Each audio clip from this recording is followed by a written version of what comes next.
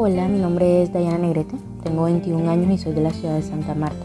El nombre que decidí darle a esta fotografía es Boneless. Con esta obra pues quise retratar la soledad absoluta que se produce cuando eres incapaz de formar vínculos y conectar con los demás. Y esta es la razón del título. Quise capturar la desesperación y desasosiego que esto produce cuando te encuentras a ti mismo en una situación donde buscas desesperadamente un lugar donde sentir confort y llamarlo hogar tanto que llegas a perderte e incluso a encontrar un lugar vacío y desconocido, pues donde nadie te espera. Esta fotografía para mí cae en el concepto de fotografía de autor. Para esta me ayudé con técnicas de composición como, como el sistema de tercios.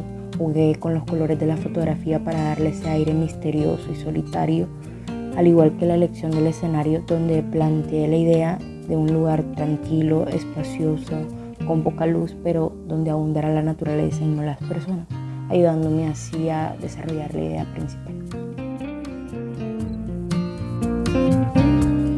Soy Carmen Julia Ibáñez López, fotógrafa aficionada, licenciada en artes plásticas, pensionada de la docencia.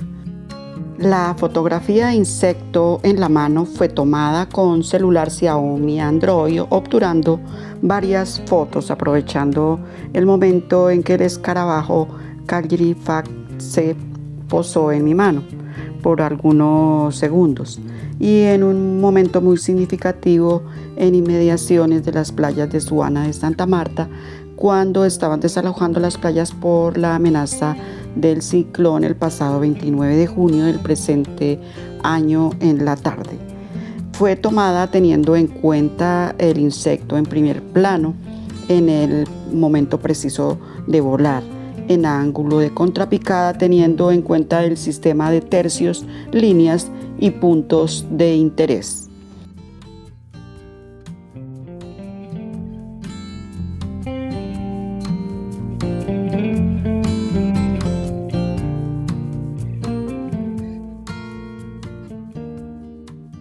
Se titula La espera. La técnica es fotografía digital a blanco y negro. Esta parte del concepto de soledad, asumiendo la cotidianidad del ser humano, explorando los espacios de reflexión y los procesos de introspección. Una imagen que pretende reafirmar la tranquilidad y sutileza del momento, pero también la nostalgia, la angustia e incertidumbre frente a lo que ha de llegar. Se percibe la ausencia del sujeto, siendo el ave una metáfora de lo humano y su paso por el mundo signos de resonancia por medio de estructuras lineales que rompen con el espacio. Un juego entre lo orgánico e inorgánico, lo figurativo y lo abstracto, ahondando en la percepción que tenemos frente a nuestra propia existencia. Inesperado es el nombre de la obra la cual tiene un tema basado en la técnica intangible y su antónimo, en este caso la salud-enfermedad. En un marco general, la fotografía refleja la vida antes y después de la pandemia causada por el COVID-19. En la primera sección hay un mundo demostrando salud que a su vez está siendo sostenido por un hombre con tapabocas que contempla el planeta Tierra sin el virus anteriormente mencionado. La razón por la que el sujeto usa mascarilla es para representar a todas esas personas que en algún momento de la vida están usando o han hecho empleo del cubrebocas, así como los médicos o enfermos. Posteriormente se hay un ambiente rodeado del virus por el que toda la raza humana se ve obligada a acostumbrarse y adaptarse a los nuevos cambios y rutinas, por lo que deberían comenzar a adquirir responsabilidad y compromiso social por el bien propio y común. Mi nombre es Sandra Tobar Jimeno. El título de la obra, A tu libre interpretación. La técnica utilizada es picado luz natural el significado de la foto. Dada la asignación del profesor, eh, nos pidió que en una sola fotografía captáramos muchos sentimientos, algo como el recuerdo, el olvido, la opresión, la liberación, la soledad, la compañía, el dar y el recibir, el falso y el caos, el amor, el odio, la alegría y la tristeza. Y me pareció que en esta foto puedo representar muchos de esos sentimientos. Por eso lo dejo a la libre albedrío de interpretarlo y su nombre es A tu libre interpretación. Hola, me llamo Rafa, esta foto se titula Resiliencia porque a pesar de que esté en un entorno hostil, en una jaula, le tiran la comida al piso, ya no tiene a su mamá, en vez de su mamá tiene un bombillo, sigue de pie. La posición que tiene, o sea, es como si se hubiera dado cuenta de su existencia, como si fuera consciente de su propósito. Incluso podría llegar a decir que se nota cierto alivio en su cara por conocer esa verdad, o sea, a diferencia de los otros pollos, él está ahí como pensando. Eh, la foto la tomé con la regla de tercios, eh, basándome en unas fotografías a blanco y negro que nos mostró el profesor Juan Bonilla. Y, ya. Y bueno, eh, estoy súper agradecido con el museo. muchas gracias por todo. Y no, nada, espero que les guste.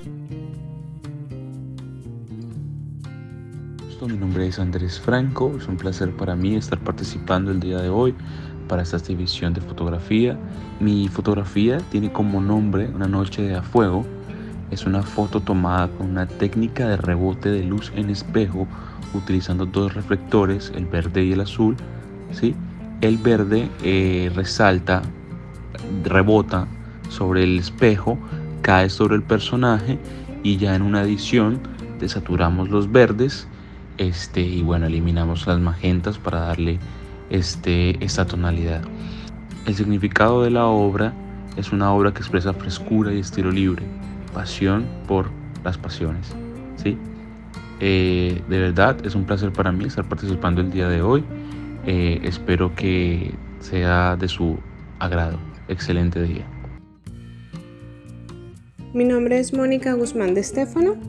La imagen que observan tiene por título Encuentro y despedida hizo parte de una asignación que nos realizó el profesor Juan Miguel Bonilla, en el cual teníamos que plasmar una dualidad de sensaciones o emociones. En este caso, estas imágenes para mí representan, o esta imagen para mí representa ese punto justo en el que las manos están a punto de tocarse como en ese encuentro esperado o justamente están comenzando a alejarse. Mi obra es titulada La Esperanza. En ella podemos encontrar cómo la condición de luz entra a tomar un papel preponderante y la utilización de la luz natural nos permite evidenciar cómo las texturas nos permiten dilucidar sobre lo que es la esperanza y cómo ésta se ve reflejada tanto en el rostro con el brillo del sol o tanto en las imágenes que se pueden evidenciar en los lentes de la persona, puesto que nos permiten dilucidar acerca de lo que se viene más adelante, aquella ilusión que nos permite evidenciar el futuro, aquellas razones que nos dan anhelo y nos permiten dilucidar sobre qué es lo que se nos viene por delante, aquella esperanza de futuro.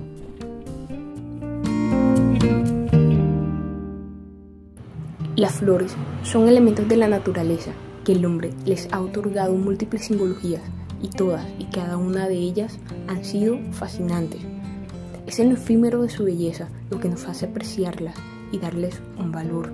Sin embargo, esta simbología puede llegar a ser una completa antítesis de la otra, puesto que puede llegar a simbolizar la muerte y la vida, la salud y la enfermedad, la tristeza y la felicidad. Esta foto pertenece a la serie Muere una flor, con el nombre Lenta Muerte, mientras que esta flor muere poco a poco, paciente, donde sus pétalos se van marchitando poco a poco. Esta representa que aunque puede tardar esta muerte, es ineludible. La espera es el título de la fotografía. Técnica utilizada, iluminación lateral con fuente de luz artificial. Tomada bajo ISO 100, apertura del diafragma 5.3. Tiempo de obturación 1 segundo. Distancia focal 48 milímetros y sin flash. La fotografía presentada es una evocación a las pinturas de naturaleza muerta o bodegón que data del siglo XVII. En ello presento un aperitivo en solitario, haciendo una inferencia que es para una sola persona, dado que coloqué una sola copa con vino, la cual está a la espera de ser consumida por su único invitado.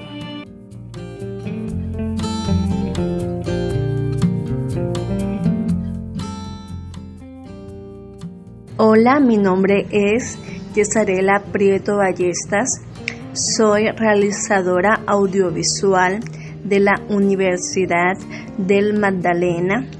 El título de mi obra es A la luz de las velas y la técnica es fotografía. Y el significado que yo le doy es que gracias a la luz podemos ver formas, colores, texturas, tamaños, contrastes, entre otros. Y gracias a la luz todo cobra vida. Muchas gracias.